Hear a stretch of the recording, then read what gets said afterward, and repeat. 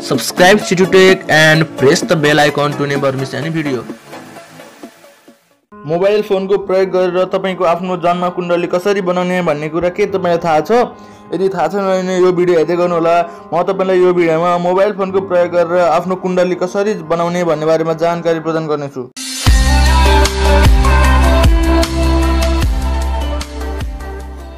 Mobile फोनको प्रयोग गरेर तपाईँको आफ्नै मोबाइलमा कुण्डली बनाउनको लागि तपाईँले सबैभन्दा पहिले आफ्नो मोबाइलमा एउटा एप्लिकेसनलाई इन्स्टल गर्नुपर्ने हुन्छ।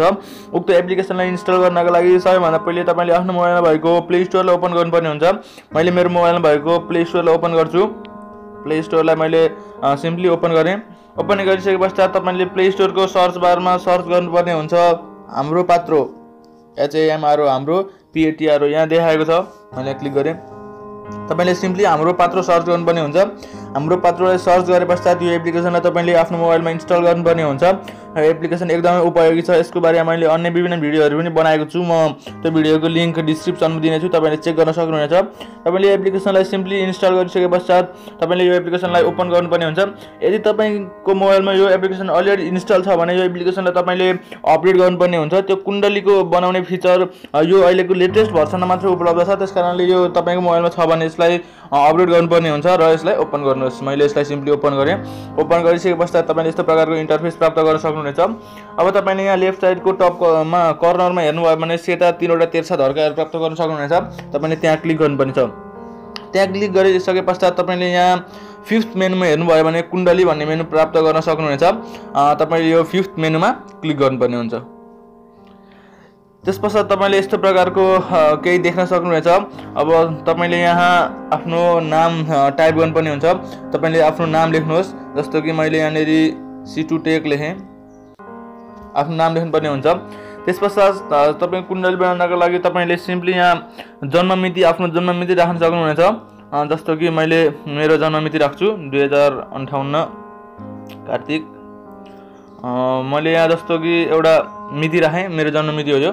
अब त्यस पश्चात यहाँ इङ्ग्लिस डेट आफै कन्भर्ट भयो एडीमा दुई हजार एक अक्टोबर छब्बिस भनेर आफै कन्भर्ट भयो। अब जन्मेको समय राख्नुपर्ने हुन्छ। तपाईँ कति बजे जन्मिनु भएको हो यहाँ राख्नुपर्ने हुन्छ।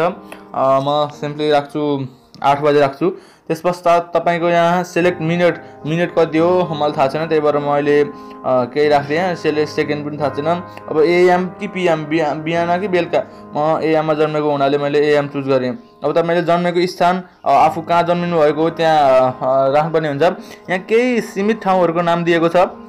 यहाँ यदि तपाईँको यहाँ पर्छ भने यहीँबाट छान्न सक्नुहुनेछ। नत्र भने तपाईँले यहाँ लोकेसन सर्च गर्न पनि सक्नुहुनेछ। यहाँ सिम्पली क्लिक गरेर लोकेसन यहाँ सर्च गरेर पनि गर्न सक्नुहुनेछ। जस्तो कि मैले यहाँनिर हेटौँडा सर्च गर्छु।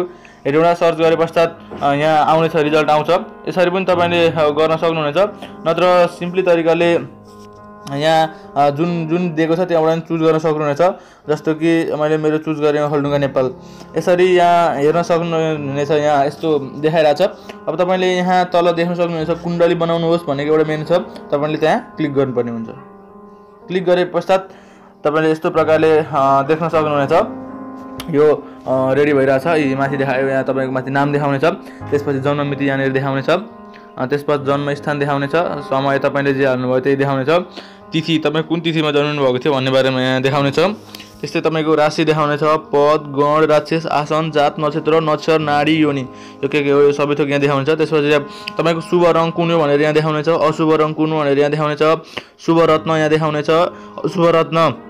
यहाँ देखाउनेछ। त्यसपछि तपाईँको जन्म कुण्डली यहाँ यस्तो प्रकारले रेडी हुनेछ र तपाईँको अर्को यहाँ छ नवमांस कुण्डली भन्ने। यो पनि यहाँ देखाउन सक्नुहुनेछ। यो अरू अरू के के छ यहाँ?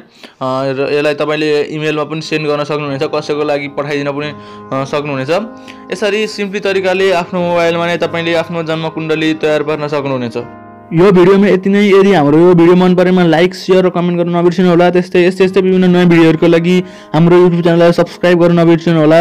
यो युट्युब च्यानलमा तपाईँले नेपाली भाषामा यस्तै प्रकारका विभिन्न भिडियोहरू प्राप्त गर्न सक्नुहुनेछ।